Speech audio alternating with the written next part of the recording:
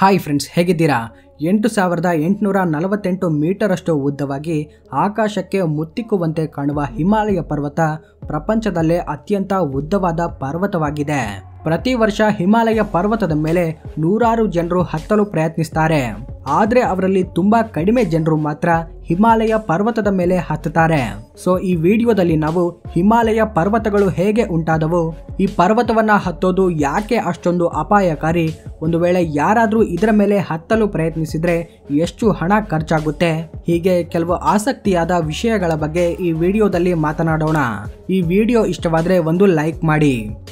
ವಿಜ್ಞಾನಿಗಳ ಪ್ರಕಾರ ಈ ಹಿಮಾಲಯ ಪರ್ವತಗಳು ಐನೂರು ಕೋಟಿ ವರ್ಷಗಳಷ್ಟು ಹಿಂದೆಯಿಂದಲೇ ಇವೆ. ಪೂರ್ವದಲ್ಲಿ ನಮ್ಮ ಭಾರತ ದೇಶ ಈಗಿರುವ ಪ್ರದೇಶದಲ್ಲಿ ಇರಲಿಲ್ಲ.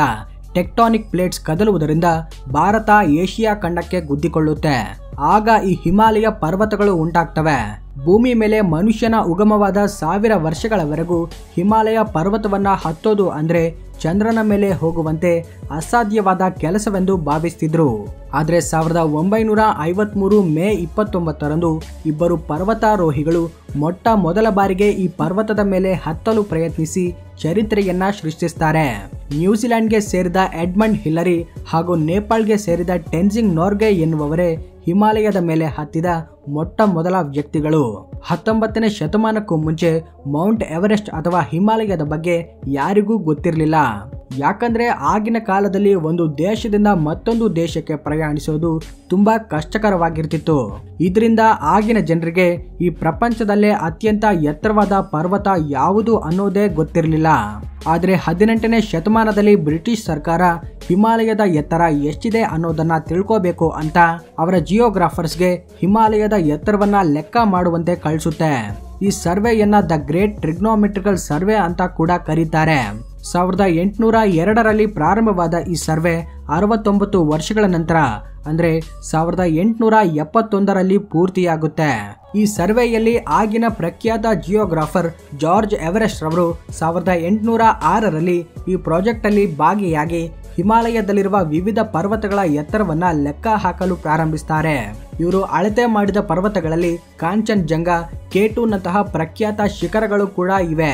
ಆಗ ಎಂಟು ಸಾವಿರದ ಐನೂರ ಎಂಬತ್ತಾರು ಮೀಟರಷ್ಟು ಎತ್ತರವಾಗಿದ್ದ ಕಾಂಚನ್ಜಂಗ ಪರ್ವತವನ್ನೇ ಪ್ರಪಂಚದ ಅತ್ಯಂತ ಎತ್ತರವಾದ ಶಿಖರ ಅಂತ ಎಲ್ಲರೂ ಭಾವಿಸ್ತಿದ್ರು. ಈ ವಿಧವಾಗಿ ಜಾರ್ಜ್ ಎವರೆಸ್ಟ್ ಅನೇಕ ಪರ್ವತಗಳನ್ನ ಅಳತೆ ಮಾಡಿದ ನಂತರ ಸಾವಿರದ ಎಂಟುನೂರ ನಲವತ್ತ್ ಮೂರರಲ್ಲಿ ನಿವೃತ್ತಿಯಾಗ್ತಾರೆ. ಅವರು ನಿವೃತ್ತಿಯಾದ ನಂತರ ಅವರ ಸ್ಥಾನವನ್ನ ಆಂಡ್ರ್ಯೂ ವೋಕ್ ತುಂಬುತ್ತಾರೆ ಇವರು ಒಬ್ಬ ಬ್ರಿಟಿಷ್ ಆರ್ಮಿ ಆಫೀಸರ್ ಆಗಿರ್ತಾರೆ. ಆಂಡ್ರೂ ಸಾವಿರದ ಎಂಟುನೂರ ನಲವತ್ತೇಳರಲ್ಲಿ ಮೊಟ್ಟ ಮೊದಲ ಬಾರಿಗೆ ಕಾಂಚನ್ ಜಂಗಾದಿಂದ ಕೆಲವು ಮೈಲ್ಗಳಷ್ಟು ದೂರದಲ್ಲೇ ಕಾಂಚನ್ ಜಂಗಾಕ್ಕಿಂತ ಎಷ್ಟೋ ಎತ್ತರವಾದ ಪರ್ವತ ಇದೆ ಅಂತ ಹೇಳ್ತಾರೆ. ಆಗ ಅವರು ಹೇಳಿದ್ದು, ಬೇರೆ ಯಾವುದೋ ಅಲ್ಲ, ಮೌಂಟ್ ಎವರೆಸ್ಟ್ ಪರ್ವತವೇ. ಆಂಡ್ರೂ ಮೌಂಟ್ ಎವರೆಸ್ಟ್ನ ಕಂಡು ಹಿಡಿದಾಗ ಅದಕ್ಕೆ ಪೀಕ್ ಫಿಫ್ಟೀನ್ ಅಂತ ಹೆಸರಿಡ್ತಾರೆ. ನಂತರ ಆಂಡ್ರೂ ಪೀಕ್ ಫಿಫ್ಟೀನ್ ಎತ್ತರವನ್ನ ಅಳತೆ ಮಾಡುವ ಜವಾಬ್ದಾರಿಯನ್ನ ಜೇಮ್ಸ್ ನಿಕೋಲ್ಸನ್ಗೆ ಒಪ್ಪಿಸ್ತಾರೆ. ಆದರೆ ಜೇಮ್ಸ್ ನಿಕೋಲ್ಸನ್ ಶೇಖರಿಸಿದ ಡೇಟಾವನ್ನ ಇಂಡಿಯನ್ ಮ್ಯಾಥಮೆಟಿಷಿಯನ್ ಆದ ರಾಧಾನಾಥ್ ಸಿಗ್ದನ್ ರವರು ಸಾವಿರದ ಎಂಟುನೂರ ತೊಂಬತ್ತೆರಡರಲ್ಲಿ ಕ್ಯಾಲ್ಕುಲೇಟ್ ಮಾಡಿ ಪೀಕ್ ಫಿಫ್ಟೀನ್ ಪ್ರಪಂಚದಲ್ಲೇ ಅತ್ಯಂತ ಉದ್ದವಾದ ಶಿಖರ ಅಂತ ನಿರೂಪಿಸ್ತಾರೆ. ಮೌಂಟ್ ಎವರೆಸ್ಟ್ಗೆ ಬ್ರಿಟಿಷರು ಪೀಕ್ ಫಿಫ್ಟೀನ್ ಅಂತ ಹೆಸರಿಟ್ಟರು ಕೂಡ ನೇಪಾಳದ ಜನರು ಮಾತ್ರ ಇದನ್ನ ಸಾಗರ್ ಮಾತೆ ಅಂತ ಕರೀತಿದ್ರು. ಆದ್ರೆ ಸಾವಿರದ ಎಂಟುನೂರ ಐವತ್ತಾರರಲ್ಲಿ ಆಂಡ್ರ್ಯೂ ವೋಗ್ ಜಾರ್ಜ್ ಎವರೆಸ್ಟ್ ಹೆಸರಿನ ಮೇಲೆ ಈ ಪರ್ವತಕ್ಕೆ ಮೌಂಟ್ ಎವರೆಸ್ಟ್ ಅಂತ ಹೆಸರನ್ನ ಬದಲಾಯಿಸ್ತಾರೆ. ಆಗಿನಿಂದ ಪ್ರಪಂಚವೆಲ್ಲ ಈ ಪರ್ವತವನ್ನ ಮೌಂಟ್ ಎವರೆಸ್ಟ್ ಅಂತ ಕರೆಯಲು ಪ್ರಾರಂಭಿಸುತ್ತೆ. ಈಗ ಎವರೆಸ್ಟ್ ಪರ್ವತ ಹತ್ತುವವರ ಬಗ್ಗೆ ಮಾತನಾಡಿಕೊಂಡ್ರೆ ಸಾವಿರದ ಒಂಬೈನೂರ ಇಪ್ಪತ್ತೊಂದರಲ್ಲಿ ಜಾರ್ಜ್ ಮೆಲೋರಿ, ಗಾಯ್ ಬುಲ್ಲೋಕ್ ಅನ್ನೋ ಇಬ್ಬರು ಬ್ರಿಟಿಷ್ ಪರ್ವತಾರೋಹಿಗಳು ಮೊಟ್ಟ ಮೊದಲ ಬಾರಿಗೆ ಮೌಂಟ್ ಎವರೆಸ್ಟ್ ಪರ್ವತದ ಮೇಲೆ ಹತ್ತಲು ಪ್ರಯತ್ನಿಸ್ತಾರೆ. ಇವರು ಈ ಪರ್ವತದ ಮೇಲೆ ಹತ್ತಲು ಸುಲಭವಾದ ಮಾರ್ಗವನ್ನ ಕಂಡುಕೊಳ್ಳಲು ಹೋಗಿರ್ತಾರೆ. ಇದರಿಂದ ಈ ಇಬ್ಬರು ಪರ್ವತಾರೋಹಿಗಳು ಈ ಶಿಖರದ ಮೇಲೆ ಸ್ವಲ್ಪ ದೂರದವರೆಗೂ ಹತ್ತಿ ಮತ್ತೆ ಹಿಂತಿರುಗಿ ಬರ್ತಾರೆ. ನಂತರ ಸಾವಿರದ ಒಂಬೈನೂರ ಇಪ್ಪತ್ತೆರಡರಲ್ಲಿ ಕೆಲವು ಪರ್ವತಾರೋಹಿಗಳು ಈ ಪರ್ವತವನ್ನ ಹತ್ತಲು ಪ್ರಯತ್ನಿಸ್ತಾರೆ. ಆದರೆ ಅವರಿಂದ ಕೂಡ ಆಗೋದಿಲ್ಲ.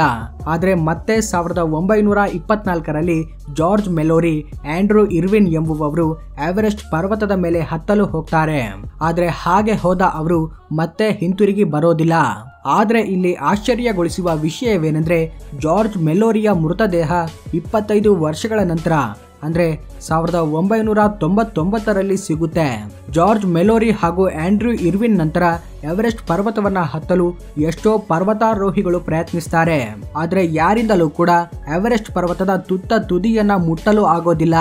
ಆದರೆ ಈ ಪ್ರಯತ್ನದಲ್ಲಿ ಅನೇಕ ಜನರು ತಮ್ಮ ಪ್ರಾಣವನ್ನೇ ಕಳೆದುಕೊಳ್ತಾರೆ. ಆಶ್ಚರ್ಯಗೊಳಿಸುವ ವಿಷಯವೇನೆಂದ್ರೆ, ಈ ಪರ್ವತವನ್ನ ಹತ್ತಲು ಪ್ರಯತ್ನಿಸಿದವರಲ್ಲಿ ಈಗಿನವರೆಗೂ ಮುನ್ನೂರ ಎಂಟು ಪರ್ವತಾರೋಹಿಗಳು ಸಾವನ್ನಪ್ಪಿದ್ದಾರೆ. ಇವರಲ್ಲಿ ತುಂಬಾ ಜನರ ಮೃತದೇಹಗಳು ಈಗಲೂ ಕೂಡ ಆ ಮಂಜಿನಲ್ಲೇ ಉಳಿದಿವೆ. ಇವೆಲ್ಲ ವಿಷಯಗಳನ್ನ ಕೇಳಿದ ನಂತರ ಪ್ರತಿಯೊಬ್ಬರ ಮನಸ್ಸಿನಲ್ಲಿ ಹುಟ್ಟುವ ಪ್ರಶ್ನೆ ಏನಂದ್ರೆ ಮೌಂಟ್ ಎವರೆಸ್ಟ್ ಅನ್ನ ಹತ್ತಲು ಹೋದವರು ಯಾಕೆ ಸತ್ತು ಹೋಗ್ತಾರೆ? ಅವರಿಗೆ ಏನಾಗುತ್ತೆ? ಇಷ್ಟಕ್ಕೂ ಮೌಂಟ್ ಎವರೆಸ್ಟ್ ಹತ್ತೋದು ಅಷ್ಟೊಂದು ಕಠಿಣವಾಗಿರುತ್ತೆ ಯಾಕೆ? ವಾಸ್ತವವಾಗಿ ಇದಕ್ಕೆ ಒಂದಲ್ಲ, ಎರಡಲ್ಲ ಹಲವಾರು ಕಾರಣಗಳಿವೆ. ಮೊದಲನೆಯದ್ದು, ಸಾಮಾನ್ಯವಾಗಿ ಪರ್ವತಾರೋಹಿಗಳು ಪರ್ವತದ ಎತ್ತರಕ್ಕೆ ಹೋದಂತೆಲ್ಲ ವಾತಾವರಣದಲ್ಲಿ ಆಮ್ಲಜನಕದ ಪ್ರಮಾಣ ತುಂಬಾ ಕಡಿಮೆಯಾಗುತ್ತೆ. ಇದರಿಂದ ನಮ್ಮ ದೇಹಕ್ಕೆ ಬೇಕಾದಷ್ಟು ಆಮ್ಲಜನಕ ಸಿಗೋದಿಲ್ಲ. ಆಗ ಶ್ವಾಸಕ್ಕೆ ಸಂಬಂಧಿಸಿದ ಸಮಸ್ಯೆಗಳು ಮತ್ತೆ ಹೆಲ್ಯೂಸಿನೇಷನ್ ನಂತಹ ಸಮಸ್ಯೆಗಳು ಕೂಡ ಬರ್ತವೆ. ಆಗ ಆಮ್ಲಜನಕದ ಅಸಮತೋಲನೆಯಿಂದ ತೀವ್ರವಾದ ಚಳಿಯಿಂದ ಕೈಕಾಲುಗಳು ಅಥವಾ ದೇಹದ ಇತರೆ ಅಂಗಗಳಲ್ಲಿ ರಕ್ತ ಸಂಚಲನೆಯಾಗೋದು ನಿಂತು ಹೋಗುತ್ತೆ. ಇದರಿಂದ ರಕ್ತ ಸಂಚಲನೆಯಾಗದ ಭಾಗ ಮೂರ್ಛೆ ಹೋಗುತ್ತೆ. ಇಲ್ಲಿ ಮುಖ್ಯವಾದ ವಿಷಯವೇನೆಂದ್ರೆ ನಮ್ಮ ದೇಹದಲ್ಲಿ ಯಾವುದಾದ್ರೂ ಭಾಗ ಹೆಚ್ಚು ಸಮಯದವರೆಗೂ ಮೂರ್ಛೆ ಹೋದ್ರೆ ಅದು ಶಾಶ್ವತವಾಗಿ ಡೆಡ್ ಆಗುವ ಸಾಧ್ಯತೆ ಇರುತ್ತೆ. ಇಂತಹ ಸಂದರ್ಭದಲ್ಲಿ ಡಾಕ್ಟರ್ಸ್ರಿಗೆ ಆ ಭಾಗವನ್ನ ದೇಹದಿಂದ ತೆಗೆಯುವುದು ಬಿಟ್ರೆ ಬೇರೆ ಆಪ್ಷನ್ ಇರೋದಿಲ್ಲ.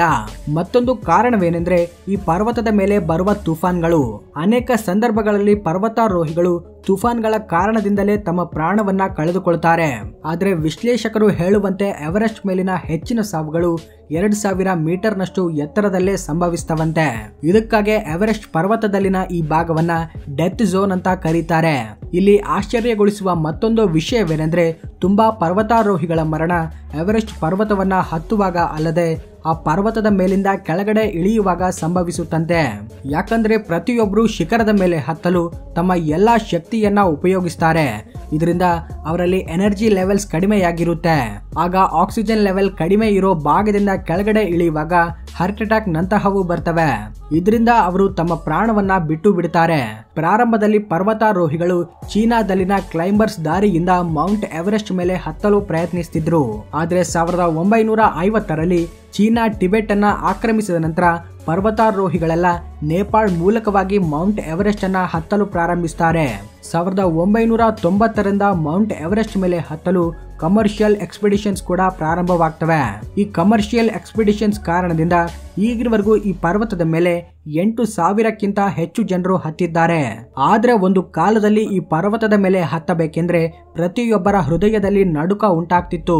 ಆದರೆ ಈಗ ಮೌಂಟ್ ಎವರೆಸ್ಟ್ ಮೇಲೆ ಹತ್ತಲು ತುಂಬಾ ಜನರು ಹೋಗ್ತಿದ್ದಾರೆ. ಈಗ ಮೌಂಟ್ ಎವರೆಸ್ಟ್ ಮೇಲೆ ಹತ್ತಲು ಆಗುವ ಖರ್ಚಿನ ಬಗ್ಗೆ ಮಾತನಾಡುವುದಾದ್ರೆ, ಮೌಂಟ್ ಎವರೆಸ್ಟ್ ಮೇಲೆ ಒಬ್ಬ ವ್ಯಕ್ತಿ ಹತ್ತಲು ನಲವತ್ತರಿಂದ ನಲವತ್ತೈದು ಲಕ್ಷ ರೂಪಾಯಿಗಳು ಖರ್ಚಾಗ್ತವೆ. ಇದರ ಭಾಗವಾಗಿ ಮೊದಲನೇದಾಗಿ ನೀವು ಒಂದು ಕಂಪನಿಯನ್ನ ಆಯ್ಕೆ ಮಾಡಿಕೊಳ್ಬೇಕು.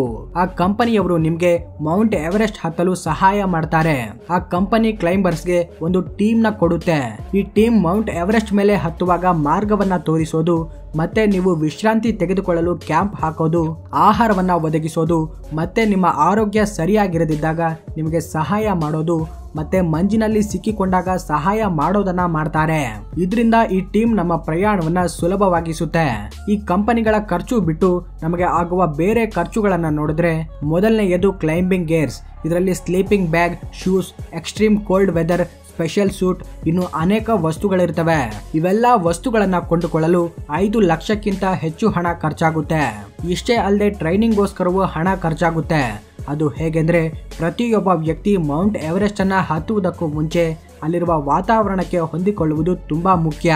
ಇದರಿಂದ ಮೌಂಟ್ ಎವರೆಸ್ಟ್ ಅನ್ನ ಹತ್ತುವುದಕ್ಕೂ ಮುಂಚೆ ಪ್ರತಿಯೊಬ್ಬ ಕ್ಲೈಂಬರ್ ಟ್ರೈನಿಂಗ್ನ ತೆಗೆದುಕೊಳ್ಳಬೇಕಾಗುತ್ತೆ.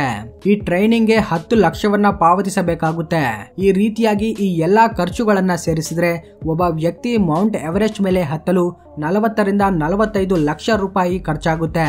ಇಷ್ಟೇ ಅಲ್ಲದೆ ಇನ್ನೂ ಒಳ್ಳೆ ಸೌಲಭ್ಯಗಳಿಂದ ಎವರೆಸ್ಟ್ ಮೇಲೆ ಹತ್ತಲು ಕೆಲವು ವಿದೇಶಿ ಕಂಪನಿಗಳು ಲಕ್ಸುರಿ ಫೆಸಿಲಿಟೀಸ್ ಅನ್ನ ಒದಗಿಸ್ತಿವೆ. ಇದಕ್ಕೆ ಆಗುವ ಖರ್ಚು ನಾವು ಬಯಸುವ ಲಕ್ಸುರಿ ಫೆಸಿಲಿಟೀಸ್ ಮೇಲೆ ಆಧಾರವಾಗಿರುತ್ತೆ. ಅಂದಾಜಿನ ಪ್ರಕಾರ ಲಕ್ಸುರಿ ಕ್ಲೈಂಬಿಂಗ್ಗೋಸ್ಕರ ಎಂಬತ್ತರಿಂದ ಎಂಬತ್ತೈದು ಲಕ್ಷ ರೂಪಾಯಿಗಳು ಖರ್ಚಾಗ್ತವೆ.